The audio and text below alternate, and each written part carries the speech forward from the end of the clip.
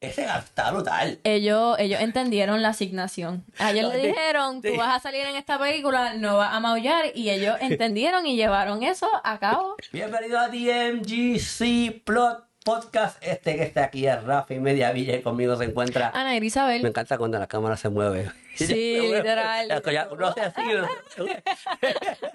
Me encanta eso. Nada, ¿y qué vamos a hablar en el episodio de hoy? Vamos a estar hablando de la nueva película A Quiet Place Day One. Precuela de la película de Quiet Place 1 and 2.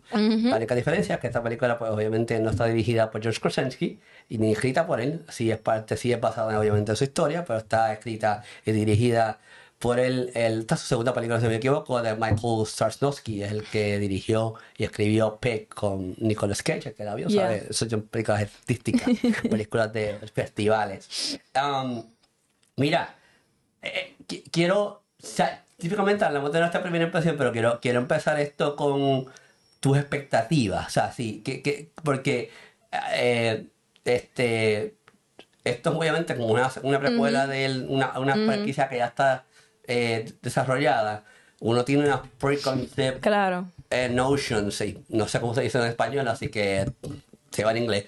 Este, eh, entonces como que no tiene expectativa.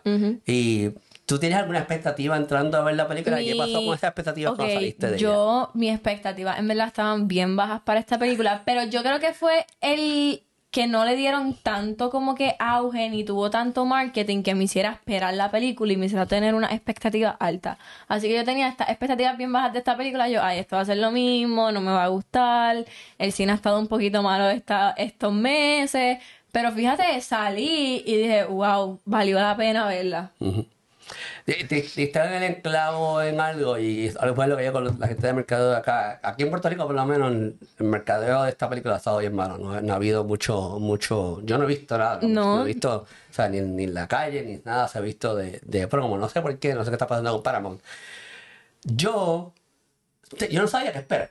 Sea, yo, yo Claro. obviamente, a- a- eh, tú me conoces y yo, eh, eh, obviamente los conocí, sabes que a no le gustan mucho las películas de horror, pero a mí me fascinan las películas Claro. de horror. Es una, es una, para mí un escape, para mí es, eh, obviamente películas como Scream, que son, que verdaderamente, tristemente se pueden convertir en realidad, porque un serial killer está por ahí corriendo como un loco fácil, pero obviamente hay otras cosas son sobrenaturales que son más sci-fi que pues, obviamente es ese escape a ese mundo que ellos quieren crear y pues mi yo no sabía qué esperar porque como esto es una precuela y ya yo sé es bien difícil crear una precuela buena Claro. pues, pues dije ay ¿cómo lo van a hacer? porque ya yo sé cuál es el estado final de lo que viene por ahí So, cómo Van a manejar eso. cómo van a manejar esto y entonces pues um, yo salí del cine con, con- con la expectativa de que me gustó un montón, pero me preocupa porque la película completa para mí está repleta de navaja- navajas de doble filo. Por-. Porque como, y, y quizás, digo, no sé si me va a entender, no sé si la gente va a entender, bueno, comentarios pueden explotarlo si quieren, Claro. pero eh, mi, mi punto es, y mi preocupación era, como está atada a la como se llama Quiet Place, Ujú. es como, como lo que te acabas de Que decir. la gente va a tener esa expectativa de la- que de lo- la- de las anteriores. de las anteriores, Y- claro. Y, y sí debe estar ahí porque está atada a Quiet Place. Pero mi, mi- lo, que me, lo que me emocionó y lo que me dio mucha satisfacción y mucha alegría, y, y- esto está brutal lo que acabo de ver, es que it stands on its, on its own. No sé cómo se dice en español tampoco, soy. Voy a hacer como en español Aquí el Spanglish. es full. Claro. So, y, y eso fue lo que me emocionó. O sea, la película, mm, ok, es una película, no, no hay que ver las, las otras dos, obviamente. Pero verdaderamente, esto es una cosa. O sea, si yo, yo digo que si le quitas el título, Que está bien, Fun- bien aparte de lo que eran an- de lo que son las anteriores. sí, funciona sin que las anteriores existieran. Sí, claro. O sea, este, eh, sin, sin el título. Si le quitas a Quiet Place, eh, eh, o sea, menciono de la bajada de filo porque yo entiendo que el, el, el ponerle la Quiet Place y ese preconceived eh, per- perspe- per- perspective de lo que era va a crear la, la como que la, la dinámica de que ah es que esto no es Sí, lo- como que una crítica de que esto no es lo que fue la primera Sí, ni la segunda, pero es que es bien diferente a lo que son las anteriores. Y, y eso fue como que la alegría que me dio. Es, es una película bien humana y eso sí me gustó un montón. Eh, tiene sus jump scares, que vamos a entrar a esas cosas ya mismo, y tiene tremendas actuaciones. Sí. Así que esa fue como que mi primera reacción, mi primera perspectiva, mi primera, lo que yo estaba, o sea, lo que yo esperaba de, si tenía alguna expectativa de ella. So, vamos a empezar entonces, porque no hubo muchas cosas que no me gustaron, hubieron, pero no hubo muchas cosas que no me gustaron. Vamos a hablar con qué funcionó, qué funciona para ti. Para mí funcionaron muy, muy bien las actuaciones, la dinámica entre los dos personajes estaba bien presente, los efectos obviamente estaban brutales, los monstruitos también, me asusté. Yo, es que yo no soy fan de las películas de terror, a mí no me gusta, a mí no me lleven a ver una película de terror porque no la voy a ver. Soy la persona más miedosa de este planeta. Pero esta la vi y he visto varias, vi Thanksgiving, vi unas cuantas y esta me gustó porque es de miedo, pero no está, no es tan miedosa a los... Los jumpscares están ahí y, hacen efecto porque yo brinqué, tú brincaste, también todo el mundo brincó. Yo estaba así en par de las sí. para ver jumpscare, para ver jumpscare, para ver jumpscare. Eh, pero como tú bien dices, yo creo que lo que se le salta, y, vamos a hablar la historia también, porque para mí la historia también se le salta. eh, las actuaciones se le salta. Lupita D'Jongo, o sea, eh, esa mujer, eh, tomando en consideración que es una silent movie, que no podemos hablar porque si no... Sí, que también, eso iba a mencionar, que como que, vuelvo y lo digo, creo que lo he dicho, las expresiones faciales de, esta, de estos actores están tan impresionantes porque ellos sin decirte nada te llevan el mensaje y tú lo entiendes. Que yo creo que es algo tan difícil de lograr. Y estas dos personas, Lupita y Joseph Quinn, lo, lograron. Eh, lo mencionaste en Furioso, o sea, con Anya Taylor. esa, esa es, esa eso hace un actor. Cuando un actor no tiene que decir una sola palabra y tú puedes sentir esas emociones. Y, queda claro que, que eh, estoy de acuerdo contigo, o sea, lo que son las actuaciones brillaron y la química. Y hay un VIP que vamos a mencionar ya mismo, que para mí fue el VIP de, la, de la, película y yo creo que ya todo el mundo sabe, porque eso explotó en, eh, o sea, eso en, las redes. explotó en las redes. Full. Pero eh, una de las cosas que, eh, aparte de la, de la, actuación que brillaron, fue su historia. Es una historia bien humana. Eh, el personaje de Peter Young está pues, muriendo de cáncer, está, está en cáncer terminal ya. Y pues ella ya sabe que su final está, o ya no verdaderamente lo que está pasando alrededor de ella no, le importa no es que no le afecte porque no le afecte pero ella sabe que ya que no le quedaba mucho. Exacto que no le quedaba mucho. Y yo cuento que eso fue una cosa que Mientras en la en A Quiet Place, las primeras dos, es esta familia buscando como refugio, cómo sobrevivir de esta cosa que no sabemos qué es. Aquí ya sabemos quiénes son estos aliens, cómo, este, o sea, cómo, ah, cómo que atacan a uno, claro está. Y ella lo que está es que, mira, ¿sabes qué? A mí no me queda mucho. Yo tengo un par de cosas que yo quiero hacer en... En, en, lo que me queda de vida lo voy a hacer y después pues que sea lo que Dios quiera. Exacto, sí me gusta, que sea lo que Dios quiera. Y yo creo que esa, esa historia a mí me tocó un montón, me, me gustó un montón. Y yo no sé si te diste cuenta de esta, creo que varias personas ya lo han mencionado.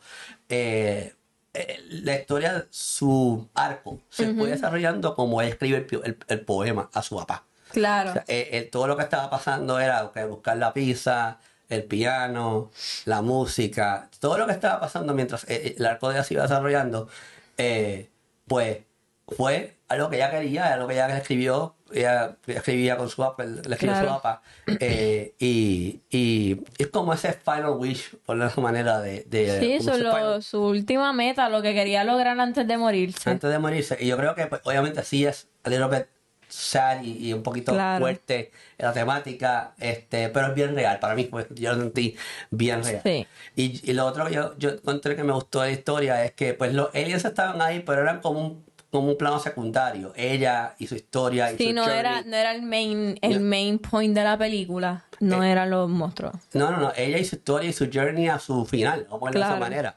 Este, era, era, es, lo que esta película se trata de todo. Por eso es que digo que mi preocupación es que yo creo que la pueden tirar, la van a tirar por el piso quizás porque como no es a Quiet Place, la película es a Quiet Place, pues claro Ok, pero that's not how it was Tienen que ver más allá de lo que a Quiet Place, definitivamente. Tienen que ir con la mente abierta, con que van a ver a los monstruitos, sí, pero no es el entire drama de la película. Eh, yo, yo creo que hay que evaluar, y es algo que yo siempre me he quejado de todos los críticos, tenemos que evaluar la película con el contexto que fue hecha. Claro. O sea, ok, está Quiet Place ahí, pero y los monstruos están ahí de Quiet Place. Pero yo creo que el, el guionista y el director hicieron esta historia en, humanizar eh, mucho más de lo, que ya, lo, que ya, han humanizado con, con A Quiet Place, la historia. Y eso yo creo que fue algo que me, que me encantó un montón. Otra cosa que me encantó fue el MVP, porque en mi vida ya he visto un freaking gato que no maullara porque todos los gatos ma- maullan cada cinco Claro. segundos y lo hacen hasta por joder. Claro. Este, y este individuo, estos individuos, porque eran- dos, eh, ese está brutal. Ellos, ellos entendieron la asignación. A ellos le dijeron, tú vas a salir en esta película, no vas a maullar. Y ellos entendieron y llevaron eso a cabo. Eh, eh, mira, y, y, y también, o sea, eh, eh, es que yo me, me sorprendí con el gato, es que dije, pero este, o sea, esto lo va- yo, yo pensaba que ese gato no iba a sobrevivir. Literal, eh, tú pensabas, se murió el gato, se murió, se echó y de momento aparece en la próxima escena y tú te quedas, ajá. Ella, este, se movió 40 cuadras y el gato se iba a mover 40 cuadras y él iba a aparecer, el gato iba a estar ahí, pre- él estuvo presente en toda la película. Es una cosa que yo me quedé como con ese gato, como sobrevivió y como nunca maulló y como... Fue, fue, fue cool, fue, fue, yo creo que le ayudó a, a como que Y fue un toque de comedia Exacto, también a la película. Le ayudó a down Cool. una, una historia que es bastante fuerte en cuanto a, Claro. en cuanto a su historia se refiere. Y también, sí, lo acabas de mencionar bien importante, tiene sus toques eh, jocosos, te ríes. Y yo creo que también es necesario para poder, you know, estamos Sí, hablando- balancear el, la tensión Exacto. y el drama de la película, pues te metían al gato y tú te reías un rato. Y, y allá también como que de o sea, líneas que son muy chistosas que la gente Claro, se reía, claro. pero era necesario porque es demasiado intensa, demasiado Claro. eh, tensa la historia como lo que está contando y aparte de lo que está pasando alrededor con con con vaya, en Nueva York, en, en Manhattan, que se, se, se- se- se dio este, Claro. este, este evento. Eh, aparte de eso, yo creo que, again, yo lo, ya lo he mencionado, yo creo también para los jump scares, estuvieron cool, Sí. no son nada fuera de este mundo. Pude dormir al otro día. Quiero que sepan que yo pude dormir peacefully en mi cama, no me dio miedo, no estuve pensando en los monstruitos, yo dormí bien. Le puedes preguntar a Alexa if there are monsters in the room now, porque ahora hay un... un- Ah, ¿en serio? Qué duro. Dice Alexa, Alexa, are there monsters in the room? Alexa me va a llegar si tengo monstru- si Alexa te va a decir si tienes monsters in the room, en la realidad. Pues sí, estuvieron cool, no, no fueron overpowering. No. Again, no sé cómo se dice en español, olvídate, lo voy a, lo voy a estar explicando. Yo lo digo en inglés y ya. Eh, pero yo creo que más que nada brilla las actuaciones. Claro. Brilla su historia muy humana, muy... Eh, uy, muy fuerte. heartfelt, Sí, muy definitivo. heartfelt, ¿verdad? ¿Viste? English. Es que son palabras que uno no encuentra en Ya, español. Vamos a hacer, hacer inglés mejor. que te esto. Eh, entonces, pues, eh, es eso. Ahora, um, que no funcionó, con todo y que la actuación de Joseph Quinn fue muy buena, yo encontré que él, Oliver Besson, al aparecer, sí, obviamente padece de ansiedad, Ok. eso lo vemos bien plasmado en Sí. su personaje. Su personaje le faltó un poquito más, porque, ok, él no- nos cuenta que es de Londres, nos cuenta que es No estaba como que- que ese background. no, no tiene, ah, como no está igual desarrollado como el del hospital Claro. John, que, que nos contaron todo su backstory con por qué está donde está su papá, lo que la apasiona.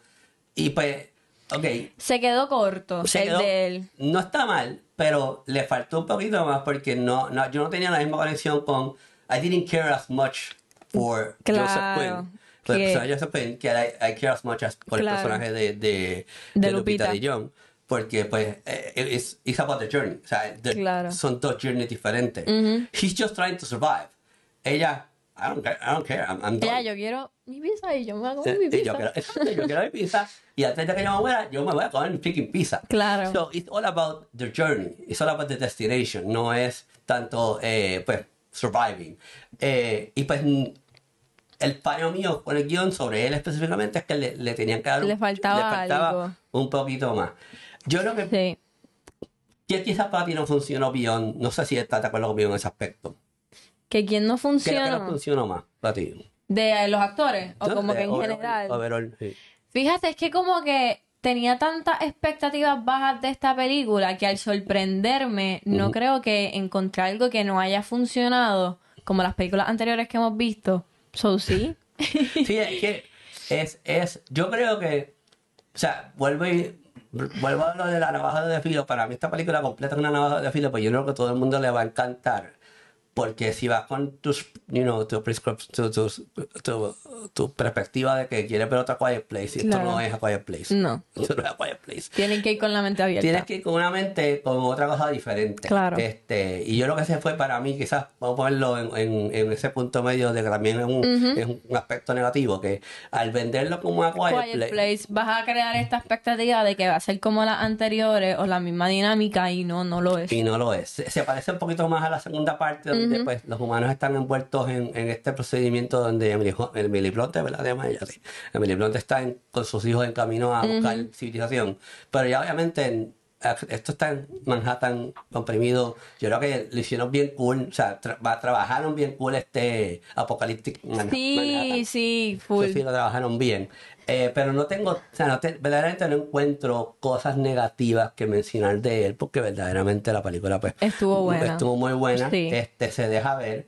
Eh, yo creo que quizás este un, o sea, un fin de semana para verla. Yo le iría a ir a ver al cine. Sí, pues, Yo le iría a ver al cine. a un fin de semana, ver, darle un break un fin de semana, vayan quizás en una parejita, vayan a verla, vayan con la familia también, Claro. porque esa historia es muy buena, las actuaciones son muy buenas, Es corta. es cortita, y Es eso es corta, dura una hora y 49 no, minutos. No como lo que, lo que nos espera la semana que Ay, viene. santo. Jesucristo, amén. Este, Ya hablaremos de eso. Ya hablaremos de eso. Sí. Y si hay que tasajarla, se va a tasar, no importa. No voy a, no voy a, no, no, no, no, vamos a discriminar, de eso. Aquí- Que dejen de hacer películas de tres horas, por favor. Aquí somos 100% reales.